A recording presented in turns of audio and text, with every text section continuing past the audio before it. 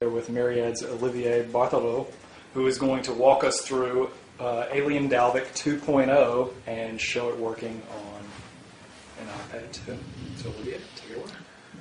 So this is the uh, the main screen of the iPad. You can you can recognize all the icons, and this is a new a new one that you're not used to see. Um, if I click on it, so you will see here that we um, actually uh, with the release 2.0 um, we have Alien Dalvik running on the cloud, um, enabling uh, uh, the Android applications to run on devices with uh, less power, like, like a tablet, for example. You can see that we can run today on desktop, so on PCs, on tablets, on phones, but also on what we call big, which is TV screen.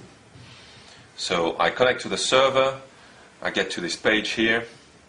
So you can see, you could recognize the icons that are the, uh, uh, the Android icons. Uh, we can launch an application full screen, or we can have the application running uh, as a widget. So you can see that the application answered to um, uh, any click like we would do on the phone. Um, so that's an example of, of a widget. We can also launch an application uh, in, in full screen. Um, you can you can see uh, that the apps the ads sorry inside the app are also um, showing up. This is a a, a typical uh, game that you will find on Android Market, and you can see here that we are landing this first plane properly.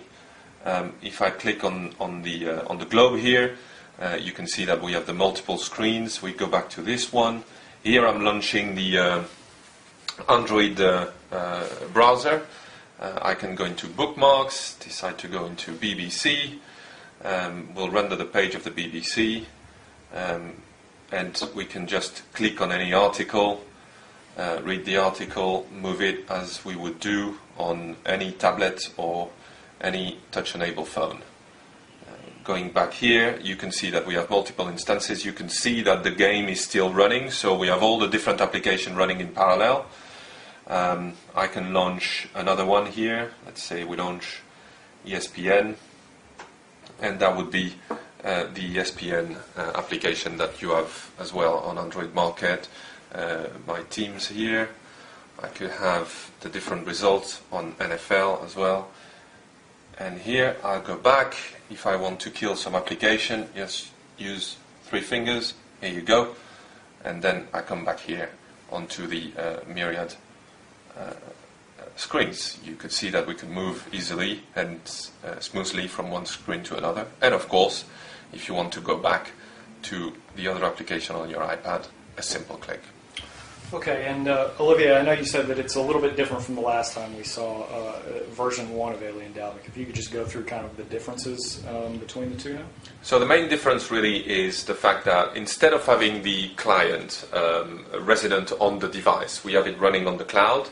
So basically, uh, the output is coming as uh, an H.264 feed, and every input, uh, every touch that I've made on the screen is then sent onto the server.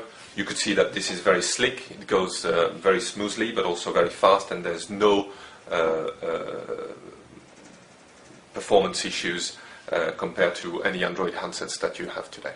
And the plans to bring it, I mean, you're not just looking at it for iOS, it's going to be all over. I know you said big screens, everything, but what were the other places so, where you. So, really, bef- between, between where we were at Mobile World Congress, where we introduced for the first time Alien Dalvik running on MeeGo, and now what we are demonstrating here is that uh, not only we can port Alien Dalvik on any operating system that exists today, uh, but also we can running on any form of devices. So we've done the mobile phone, we've done the tablet. Um, moving forward, you will see it in um, maybe unexpected places like automotive, telematics, avionics. Um, lots of screens available today in a lot of different markets. Um, and Alien Dalvik is the answer if you want to have one app covering all those screens uh, in the future. Excellent.